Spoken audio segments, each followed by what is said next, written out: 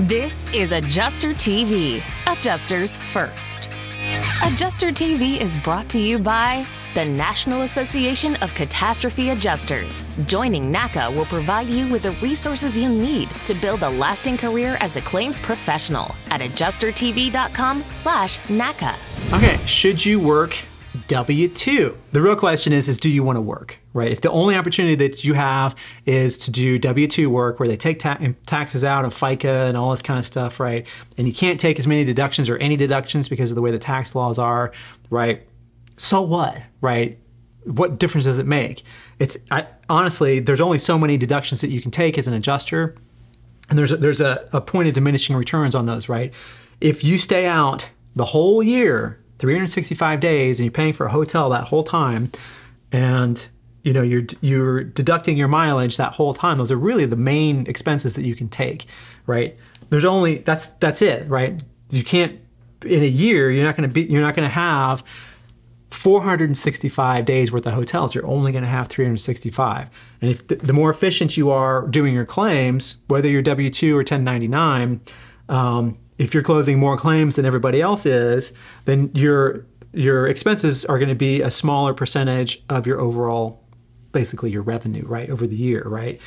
And that's what you get taxed on is that revenue. Um, I don't see that there's any drawback to doing W-2 because, and here's why. Really, it comes down to if you exclude doing W-2 work um, because you saw on social media or because you don't think that it's it's from a tax perspective, it's as lucrative as being a 1099 adjuster, um, then uh, you're excluding work, right? You're saying basically, I don't want X percentage. There's some companies that only pay W 2.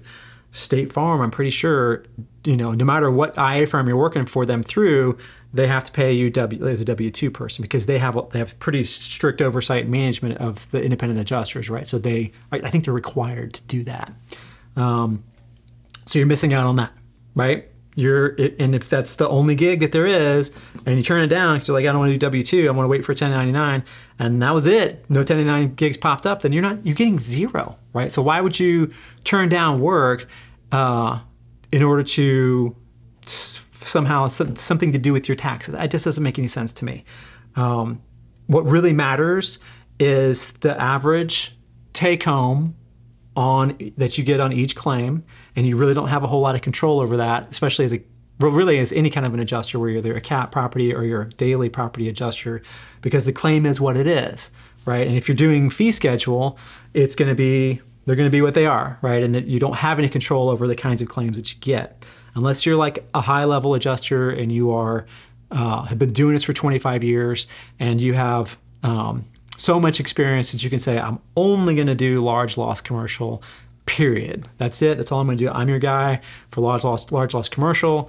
I have a lot of experience with it. I'm an expert at it. I'm a great customer service. I'm always on time. I, you know, under promise and over deliver, all that kind of stuff, right? And my files are always in line with contractors and if the contractors are out of line then i negotiate and there's no big fights and it's you know we figure it out right you're a professional um, as a new person, as a person with one or two years of experience, I'm going to tell you in, in all these situations, I don't care if they're paying hourly, uh, they're paying T&E, they're paying uh, or uh, fee schedule, or day rate, doesn't matter. If they call and they say, hey, you want to go work, I'm going to work if I'm you, right? Because you want to get some, you want to start getting experience more than tweaking a knob and, and, gaining a percentage here and there on your taxes, right? I think that that's it's the wrong priority, in my opinion, as a new person, right?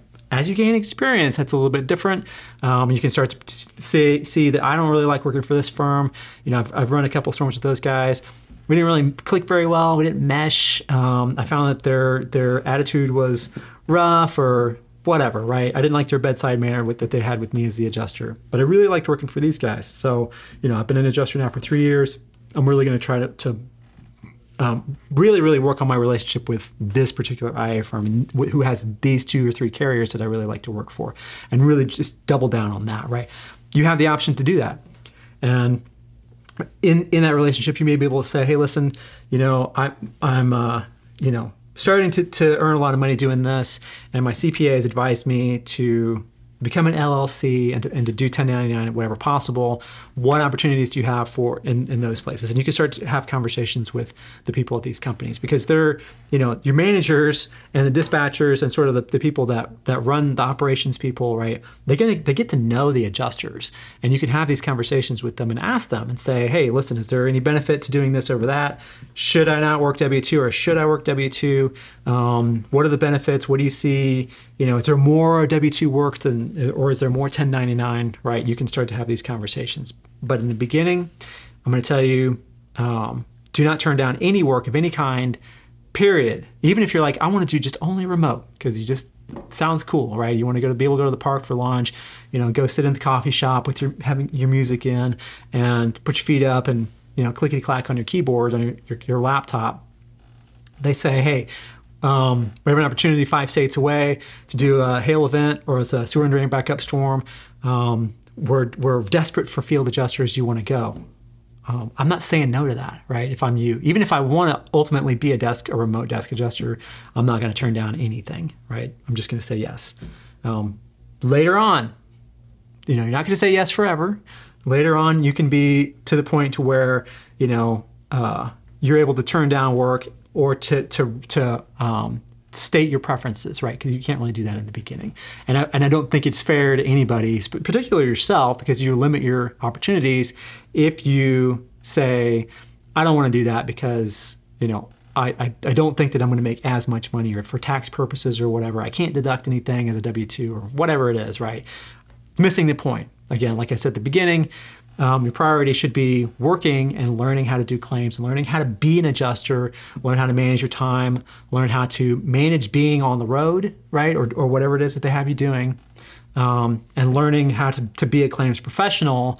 And then the money is going to come, right? Because you're not going to get to the good money without having experience. And you, so you got to get that experience first. And that means saying yes, right? So forget about the W 2 thing, 1099. It's, it's a, uh, it's a little bit of a red herring. Your priority should be saying yes and getting out there and working and getting experience. Did you know that this is just a clip of a much longer video? To watch the whole show and for a chance to have your questions answered by me, become a member at adjustertvplus.com.